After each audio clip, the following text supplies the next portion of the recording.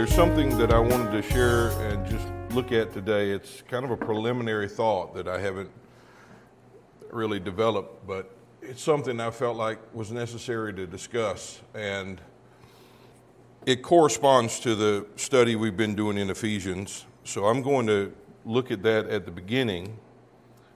But today I want to talk about the need and the nature of spiritual growth. Um, I think people have a, wrong or a, at least a misconception with regard to spiritual growth. And the truth of spiritual growth uh, flies in the face of all of our concepts with regard to it, as it always does. So I want to talk about it today. It seems almost uh, wrong when we look at it the way we're going to talk about it and discuss it, but, but I, I, I promise you, this is the only means by which the soul actually comes to stand firm in a reality that God has placed it in, what God has done in it. And so Paul's letter to the Ephesians begins, as we know, most of us know, that it begins by Paul describing just the greatness of our salvation, the magnitude of the realities, such as being blessed with all spiritual blessings. I mean, we could take each phrase and spend eternity just trying to exhaust the immensity of the statements. What does it mean? Blessed with all spiritual blessings. I mean, how can you possibly condense that into a theology or a, just a particular doctrine? It's, a, it's an immense thing. It's eternal. It's that which was preordained of God Himself that we have received.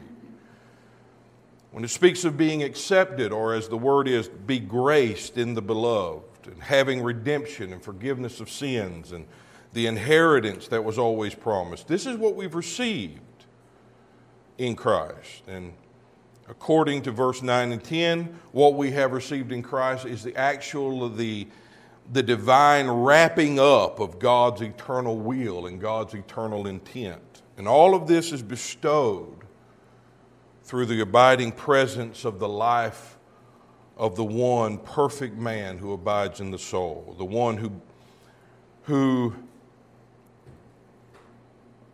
abides in us and is made unto us all things those of us who believe, who have surrendered to the mercy and grace of God as was sung about today, and I was real appreciative for the songs because it ties so well.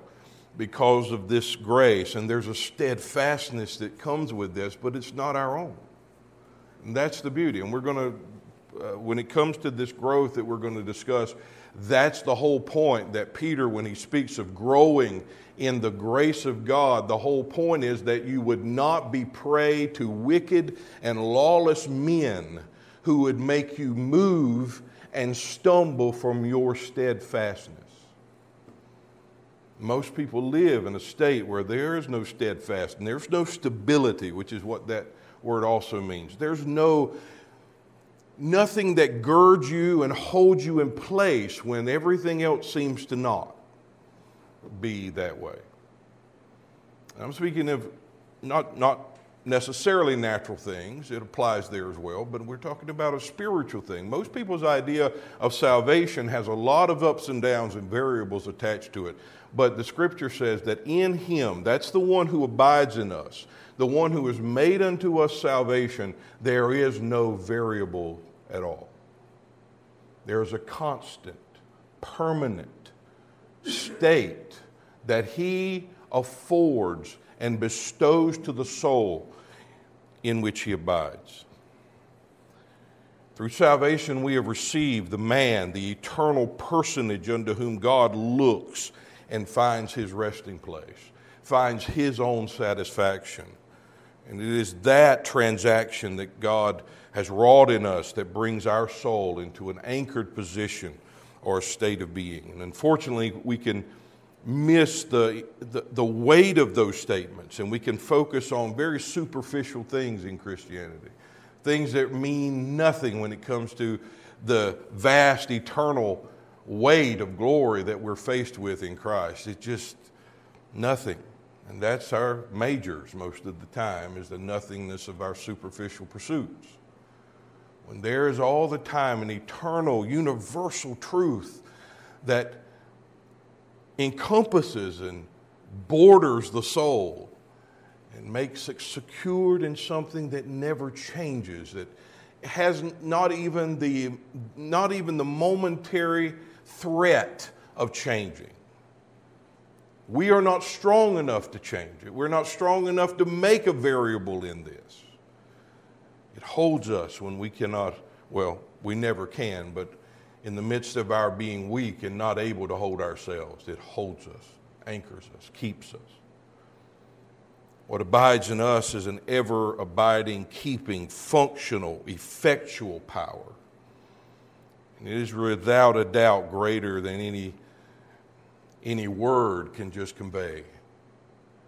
You can't put it in a nutshell and in a cleverly devised, you know, turn of phrase, this salvation. This is actually Christ in us. Christ in us who are born again is actually what Paul describes as that which is exceedingly, abundantly above all that we can ask or think. That's who He is. And we conflate other things with it and we confuse it and we try to add to it to make it sound even greater, but there's nothing greater than just the simpleness of Christ in you. And we've talked about this already. Christ in you, Paul's warning was, and his, his really the trouble that it was in his heart was that the Corinthians and all the church really would be swayed away and deceived and deviated from the simplicity that is in Christ. Christianity lives in the multiplicity of religious activity. We don't focus on the simplicity. And the beauty of that is that the word simplicity in the Greek actually means singleness, but it also simultaneously means bountiful. And you think, how in the world does a single thing also equal bountiful? Because we're talking about Christ. We're talking about one in whom all is realized, all things of God is found. So in him dwells the fullness of God. In that one, God's fullness makes its permanent home. And it pleased God for such to be the case. And the grace of God toward us is that that's the one He has gifted to the soul and given to your soul the one He is satisfied with. He's not turning to us and say, Satisfy me. That's what religion does. That's what men will do. That deviates your heart from a gift that God has given. And we're so busy trying to pursue the stuff that we're told to pursue, we don't focus on the singleness of a gift so that our soul would grow in the comprehension of a gift that's greater than ourselves, a salvation that is greater than us. It is because it is not of us at all. I'm always puzzled, and my whole life was, you know, when I began became a Christian and the whole pursuits that Christianity will put in front of you, I just had to get all my ducks in a row. That's what it was all about getting your stuff together, get your ducks in a row. The problem is, half my ducks died, and the other half were just swimming in circles. And I'm thinking, how do you get ducks in a row? It's like herding fleas. There's no way. So we give them things. And I used to think, man, Christianity puts on you standards that are impossible to meet. But they don't. The truth is, Christianity actually puts on you standards that you can meet given the right amount of effort. That's the danger. Because if it's something I can attain, then I'm going to go after it when it's something I can't attain, I'm going to fall upon the mercy of one who's offering to me what I can't attain. I'm going to fall there and submit to a gift instead of trying with all my heart and all my efforts, sincerely so, to attain something that's unattainable for me. And what we don't realize is the moment we're born again, our soul actually submits to something that is of that nature It is God giving to the soul what your soul cannot have by efforts, by works, by deeds, no matter how great they are, no matter how obedient you think you are. It's the obedience of one man, Paul says, that makes us righteous. And we're still pursuing it, we're still going after it. All of our obedience should be in the light of our being found in the one who is obedient. All of our activities should be in the light of being found in Him who has made unto us what our work can never attain. So we don't do work to attain it, we do work out from the fact that it is already attained in us by the power and sufficiency of another. Christ in you brings into your soul that which is exceeding and abundantly beyond what you can even imagine to conceive the thought of. And in the light of this type of salvation, this reality, Paul prays for the church here in Ephesians. Because this is the reality he's been describing throughout the first part of this chapter. And it's not isolated to the Ephesian church, it's, it's for the whole of the church. He just particularly writes to the Ephesians these words. But he echoes the sentiment in every letter he writes. And this is the prayer, the desire, the heart Paul has for the church to comprehend, to know, to recognize, and live in the acknowledgement of a work that God has wrought. So he starts in verse 15. I'm reading this out of the English Standard Version, Ephesians chapter 1, verse 15. For this cause, or for this reason, because I have heard of your faith in the Lord Jesus and your love toward the saints, I do not cease to give thanks for you and remembering you in my prayers.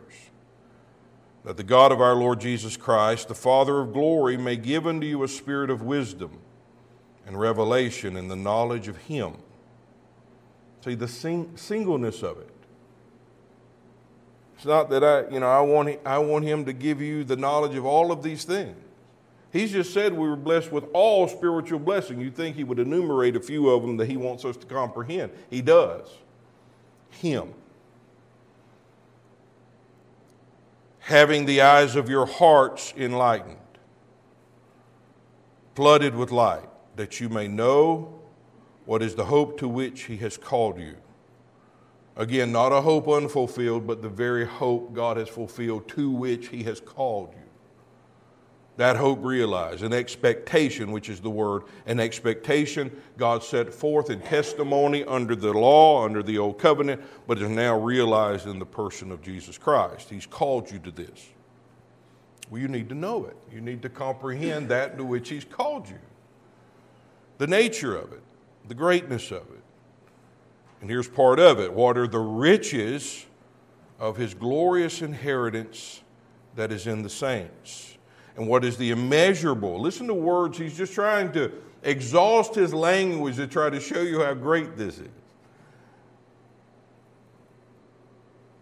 The greatness, the immeasurable greatness of his power toward us who believe according to the working of his great might that he worked in Christ when he raised him from the dead and seated him at his right hand in the heavenly places, far above all rule and authority and power and dominion, and above every name that is named, not only in this age, but also in the one to come. And he put all things under his feet and gave him as head over all things to the church, which is his body, the fullness of him that fills all in all. This is an immense thing that we are called to know, that Paul is praying for us to comprehend. This can't come by books and learning of men. This is way beyond the scope of man's intellect. It can't happen that way. Can we pursue the, the scriptures in that way? Absolutely. But you have to actually submit yourself to know the actual truth of this is beyond us. But as I was looking at the last part of these verses, 21 through 23, I was struck by something I want to just look at for a second with you because it continues on. It shows you the answer to something that is always the question kind of a universal, eternal question that's been there. Not eternal, but since man's existed.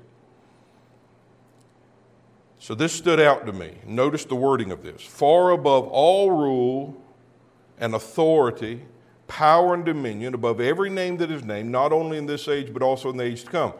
He put all things under his feet, gave him as head over all things to the church, his body, the fullness of him that fills all in all. That's the church, that which is filled, all of us, with his fullness. His fullness fills all. That's what makes it the body. That's what makes it the church.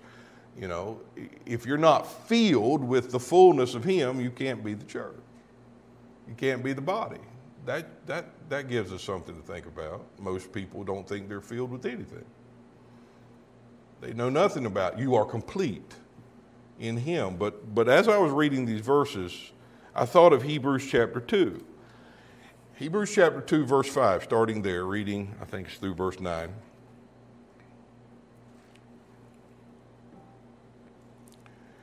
And the whole letter of Hebrews, of course, is Paul, or whoever you think wrote Hebrews, describing the greatness of Christ when compared to all of the things that came before, all of the testimony, all of the priesthood, and all of that. He's showing him, he's exalting Christ as that better thing that was always coming, that better reality that was always promised, even in the shadows of a testimony. This is what God always intended, and He is now come. God has now spoken fully. He had uttered His mind and amen all things in one man, His Son. And so he goes into Hebrews chapter 2 and he begins to show Christ is greater than what man assumes he was designed to be. Look at this Hebrews chapter 2, verse 5. For he did not give to angels the administration of the inhabited earth to come, concerning which we're speaking, but one in a certain place testified, saying, This is Wuest translation, I'm sorry. What is man? that you are mindful of him? Or the Son of Man that you look upon him in order to come and aid him? That's a question, right? I've had that question a lot of times. Why are you still here? If I was you, I would not be. But you wake up and he's still there. And you're confused because you know if he went by the same standards as you do, and people tell you are the standards, you wouldn't be caught dead near you. But he's still there. And you say, What is this about? What, why? What is man that you are mindful of him? Here's, here's part of the question. Here's why. You made him a little lower for a little time lower than angels. With glory and honor you crowned him. All things you put in subjection under his feet. Remember what we just read in Ephesians. You just put all things subjected under his feet. For in that he put all things in subjected under him, speaking of men, mankind, he left not even one thing that is not put under his feet. But now we see not all things put under him. This hadn't worked out the way it was supposed to, right? Man's really screwed up. The things you intended for man is not here. We don't see this happening. Everything's chaos. It's all wrong, right? And so we continue to ask the question why do you deal with man at all? Well, here's why. But Jesus. But Jesus who was made for a little time lower than the angels. Sounds familiar, right? With the design that he, by the grace of God, should taste death for every man. We see him crowned as the victor with glory and honor because of the suffering of death. You see, the question was always, What is man? The answer is given right here. Stop trying to find it in the men you're looking for it in. We see Jesus. There's the answer for men. Everything man assumed he was intended to be, was not intended to be found in men, it was always intended to be found in a man. That's the one we see. And this is a profound declaration of the triumph of the cross, the victory that has been brought about, what we call salvation. The victory that we, in whom Christ dwell, partake. For so many, that question again lingers, and the search for an answer to man and his failure and his dilemmas continue. For those who are even born of the Spirit, that continues. And religion tries to give you the answer and says, here's how you measure up. Here's how you finally reach that level. Here's how you finally make it.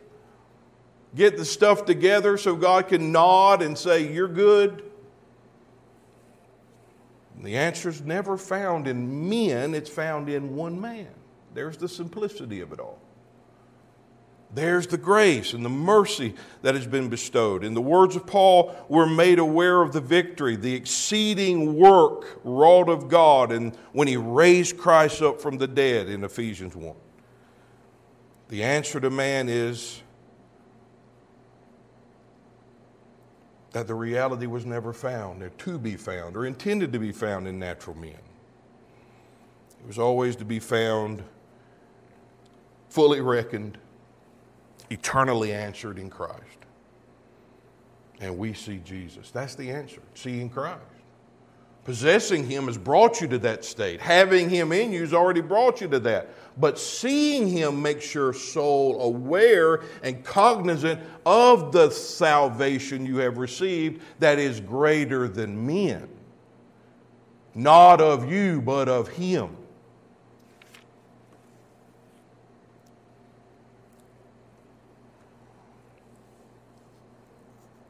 See, this is the culmination of it all.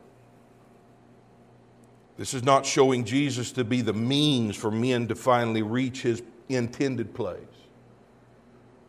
It is actually declaring Jesus Christ as the place God intended for men to finally reach. And showing you that's where you are. That's the gospel. If it's not that, that's not the gospel. Salvation itself, the soul being joined to, found in the man under whose feet God has finally placed all things, given him glory, crowned him with honor. It is that man that is the head of his church.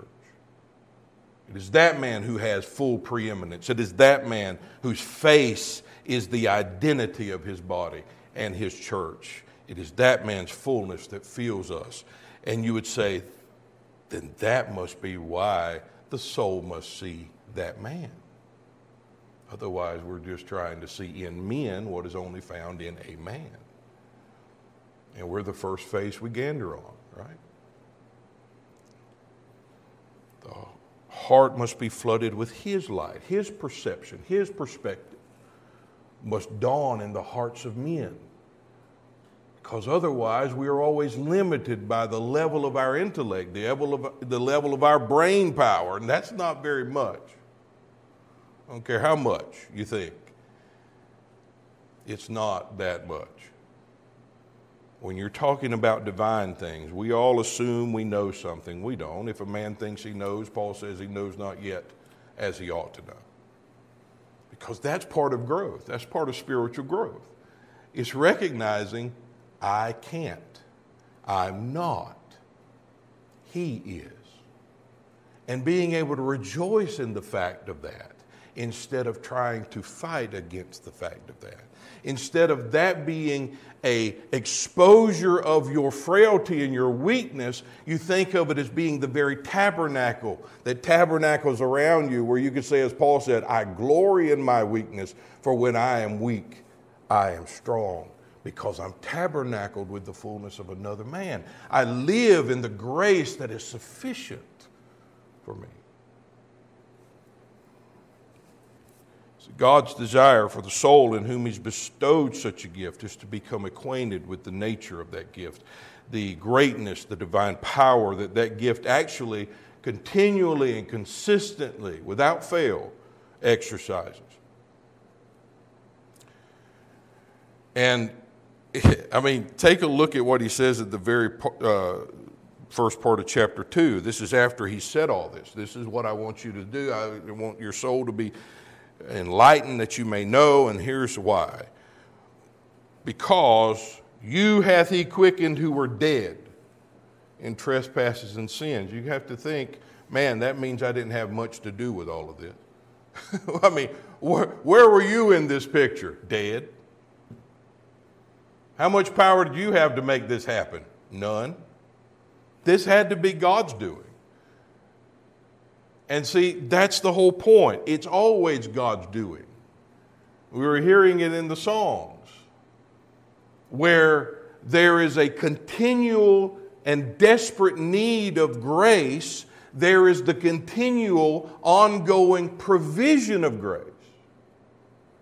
Because the need of grace never ends, and the provision of grace never ends. The vessel always needs the treasure to be to have sufficiency. When you think the vessel has sufficiency in and of itself, you are deceived. And you'll hit that wall eventually. We all will. But the fact is, the gospel should proclaim the sufficiency of the treasure in the vessel so that the vessel can desire to know a reality that keeps him safe. As the song said, He's the only place of safety we have. Your works don't keep you safe because they'll change in volume and quality eventually.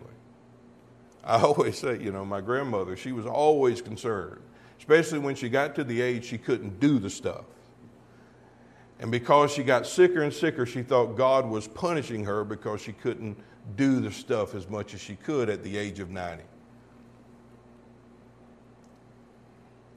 And you try to talk, but you know, it's, it's an embedded thing. Only God can change that. Why don't we just hear the gospel? That'd make it easy, wouldn't it?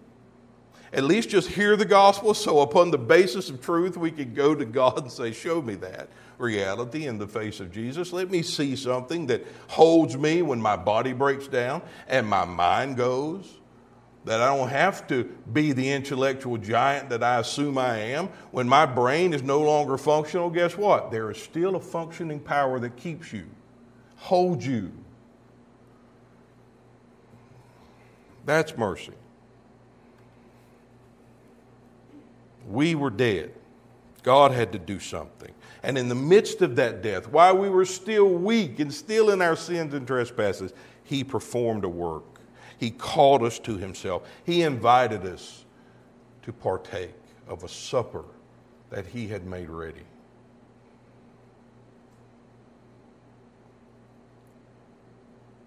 And this was done in God in the midst of our deadness. So he goes on in Ephesians 2, verse 4 God who is rich in mercy. You're dead, but God who is rich in mercy for his great love wherewith he loved us, even when we were dead in sins, hath quickened us together with him. And then the parenthetical statement defining what that is by grace you are saved. And he has raised us up together, made us sit together in heavenly places in Christ Jesus, so that in the ages to come he would show the exceeding riches of his grace in his kindness toward us in Christ Jesus. King James says through, the word's actually in. Uh, where does that mean? Out here in the universe, he's going to show that? No, that means in us. He's going to show it to us. He's going to display eternally the fullness of the mercy and kindness that he has in Christ bestowed to us, the riches of that. That's, man, that's an eternal occupation, seeing the riches of this grace knowing. I mean, I'd much rather, as I sit here today, know it while I'm in this body. but when I'm not, I'm still going to see, know, explore, discover the depths of this gift. How many times, notice he uses the word grace here so many times. And so you look at that and you take a look at the nature of this grace, where he keeps going and he says this he shows the exceeding riches of His grace and His kindness toward us in Christ Jesus. For by grace, He reiterates it again, by grace are you saved through faith, and not of yourselves. That not of yourselves. It's the gift of God. Not of works, lest any man should boast. That describes something of the nature of grace. And when you look at this whole idea of the grace that now governs us, that we are saved, the grace that has brought wholeness to the soul, which is what salvation actually means. When it says saved, it means wholeness, altogether whole. And he says this in Colossians, uh, the, basically the mirror image of this verse says it according to those who have been brought out of the kingdom of darkness and brought into the kingdom of his beloved, his beloved son, his dear son. And that would bring us to Solomon, that whole picture. The Queen of Sheba, you know, comes to Solomon, sees him, faints in front of him because of his glory and his wisdom and who he was. And it's because she had just seen now the, the person who exceeded all the words that she had heard about him. And the king under whose rule it says of that land there was only peace and that no enemy or evil occurrence was present in the land that he ruled. That's the Solomon. That's the greater than Solomon that abides in us. That was the whole picture of it. And this is the grace, salvation, that makes it possible and actually makes it the state and the case that concerning our soul it is written holy and without blame before him in love. That's impossible otherwise. How in the world is that case? And we read that word, and we read that phrase, holy and without blame, and maybe not vocally, but internally we're like, how in the world is that possible? Well, with men it's not, with God it is. That's a simple enough and a sufficient enough answer, should be. And I know I say these things a lot, but if there's a hill I'm willing to die on, this is it. We're talking about sufficiency in the midst of our weakness, because that never goes away. Sufficiency. And how amazing is the grace of God? You have to ask yourself a question like that, right? How amazing is this grace by which we've been saved? So, with that, I want to talk about spiritual growth. Because this is basically what the seeing of Jesus, the revelation of Christ brings into the heart is growth. Again, there's been a misconception with regard to growth. So I want to go to Peter and what he says. This is from the Wuest uh, translation of the New Testament. 2 Peter chapter 3, verse 17 and 18. He says this As for you, therefore, divinely loved ones, knowing these things beforehand, be constantly on your guard. Same warnings Paul does many times in his letter. Be constantly on your guard, lest having been carried away by the error of unprincipled, lawless men, you fall from your own steadfastness. but be continually growing in the sphere of God's grace and an experiential knowledge of our Lord and Savior, Jesus Christ. To him be glory both now and to the day of eternity. Now, just, just consider that. That's Paul's warning, or Peter's warning to them. And I love that. Put up your guard lest you fall from your own steadfastness by the unprincipled men who would deviate your heart. It's the same as Paul saying in Colossians, they would beguile you and deceive you with their vain philosophy. What does that mean? They're trying to add something to Jesus. They're trying to add something to your salvation. They're trying to lessen the sufficiency of a sufficient grace. Paul would say in Galatians chapter 5 concerning this same thing Behold, verse 2 Behold, I, Paul, say unto you that if you be circumcised, Christ shall profit you nothing. Can't have that. You can't have grace and works. You can't have a righteousness internal and try to also have one external. There's only one.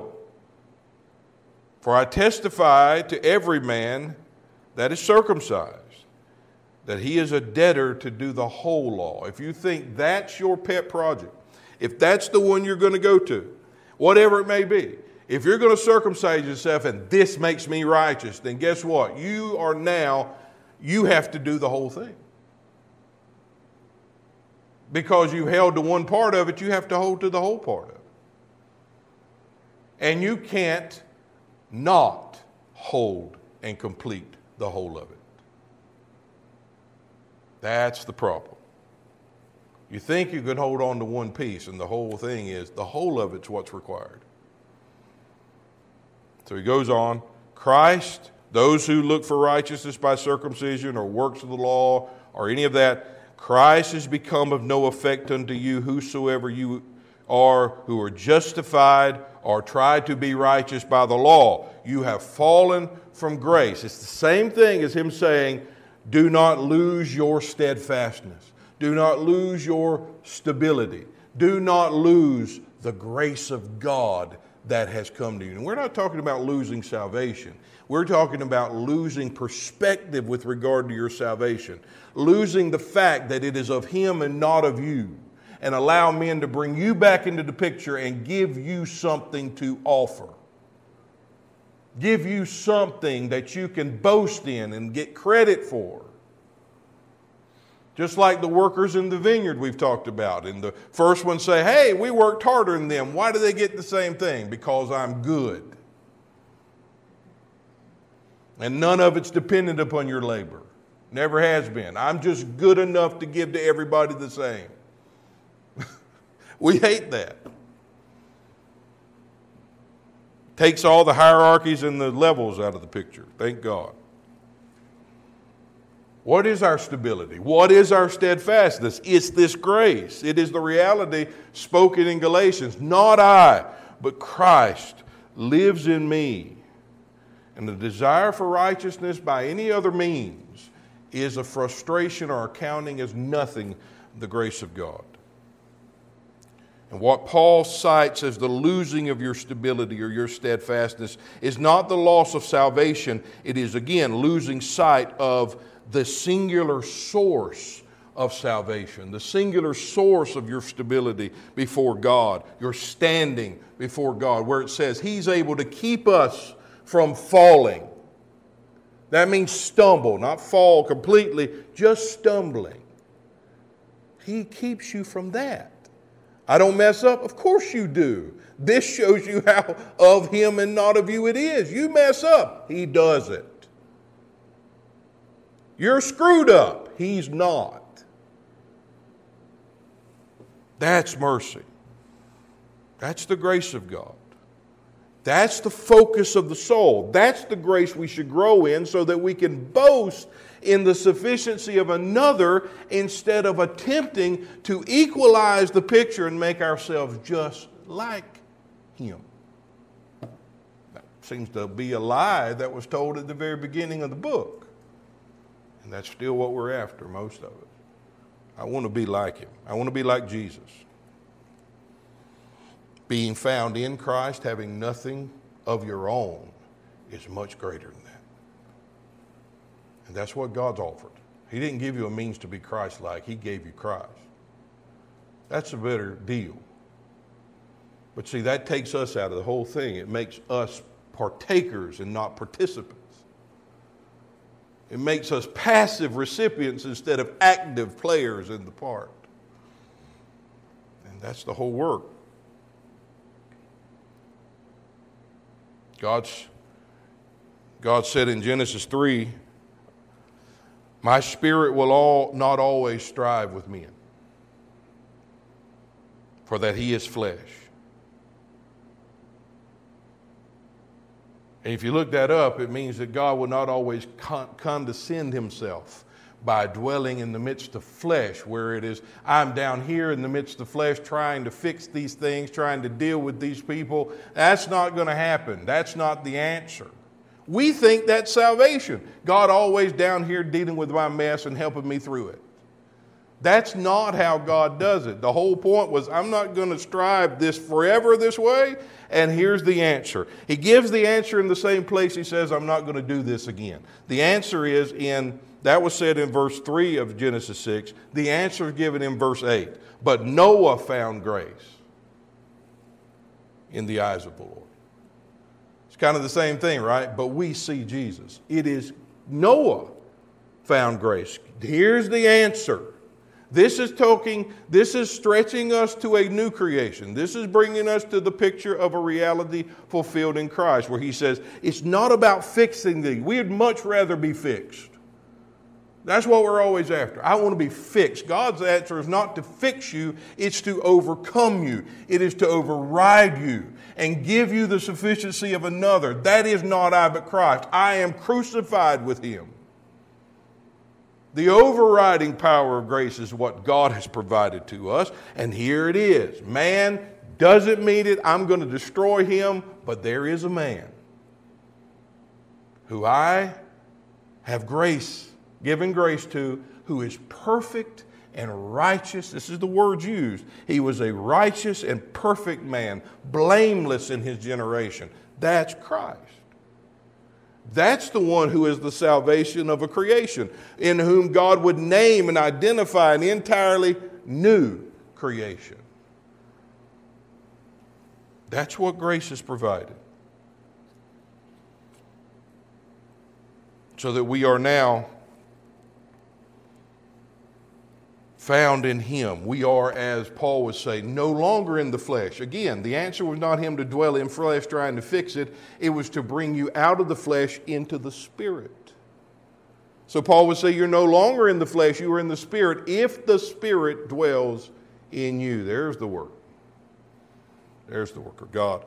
Not I, but Christ. That's the whole picture. And the more perfectly we see this taking on uh, pointing to the reality of the new covenant in a total picture, where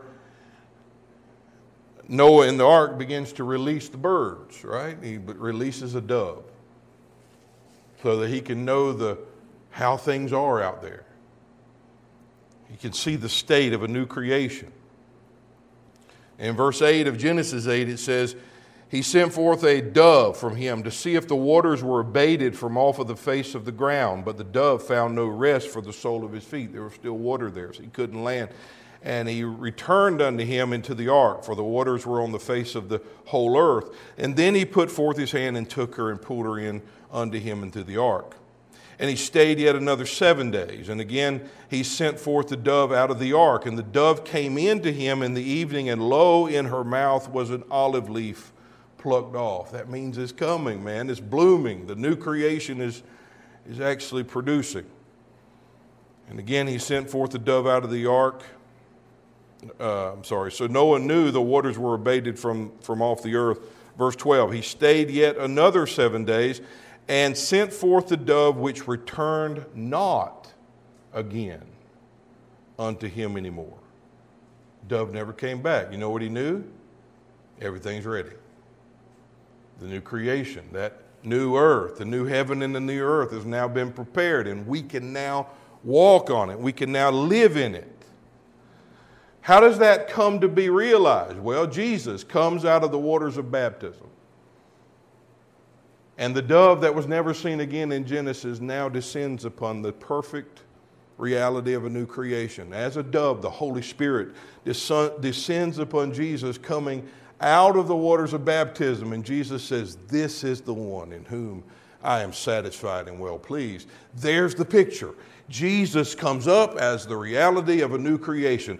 He, he, is now exposed out of the waters of a baptism or a flood, and he is shown to be the new creation. That's what we're seeing. That's grace. Defined in one man.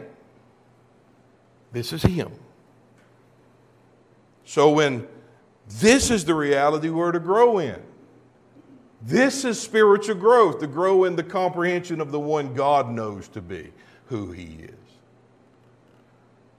And we would say, be constantly growing. That's the need. Constantly growing in the sphere of the grace. There is a realm, a sphere in which we this growing must take place. God has placed these boundaries in the realm of our growth. And I could keep going, I've gone too long, but when, let me just get to the nature of, of, I mean, again, we've defined the nature of the grace of God, not of works, lest any man should boast, not of yourselves. It is the gift of God. That's the nature of grace, not of you, but of Him. Not I, but Christ. That's the nature of the grace of God. So, what does it mean to grow in that grace, to grow in the realm and sphere of that grace? See, most of us look, most of us look at grace and we think it's almost being processed to the point and being worked in by God to the point where the grace and mercy of God is almost not even needed. It's almost obsolete. I don't need it anymore. I'm good. I've got all my habits under my feet. Everything's cool. I don't do those things anymore. I'm good. And guess what? That's not it at all. That's not what the growing in the grace of God. That's not spiritual growth. To finally see yourself leveling up where you're almost there. Spiritual growth is a growth in the grace of God. It is growing in the comprehension of the sufficiency of another man. It is continually being made aware that it is not you, it is Christ. That's spiritual growth. To constantly live in a state of awareness that none of this is defined by you. As I said, my ducks in a row didn't work out. And most people don't like to admit that because they seems to reflect poorly on them. But the problem is not the, the problem is not that it reflects poorly on us. The real problem is that we think it's still about us. That's the issue. I mean, I could tell you stories. There's a lot of poor reflection if we could talk. But there is no poor reflection on the beauty of the face of the one who identifies my state, who before God stands perfect and holy and blameless, and because I'm found in him, I too partake of that state. My soul is secured in the anchor that anchors it, Him living in it. That's real.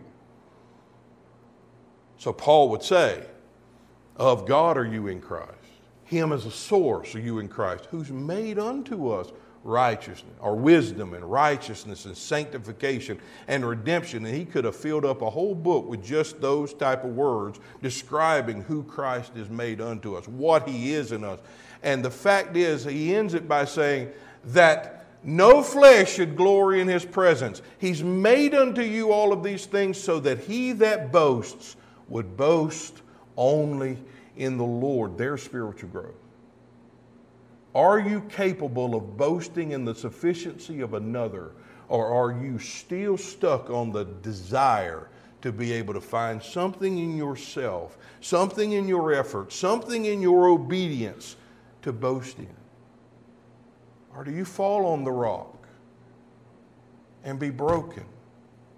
And live in that state of absolute dependence every day where the constant need is constantly supplied for because He's present. There's spiritual growth. It allows you to boast in another sufficiency without feeling like it takes away from you. And it exposes you as weak. No, you boast in that.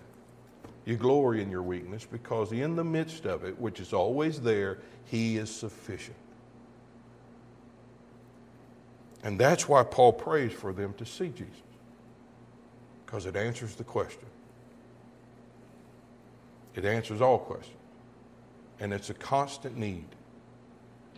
So, my prayer for all of us, for me especially, is to see the Lord is to have my eyes, the eyes of my soul open to see a reality far greater than myself. So I can rest in it, not wrestle with it. So we'll stop there, guys. Amen.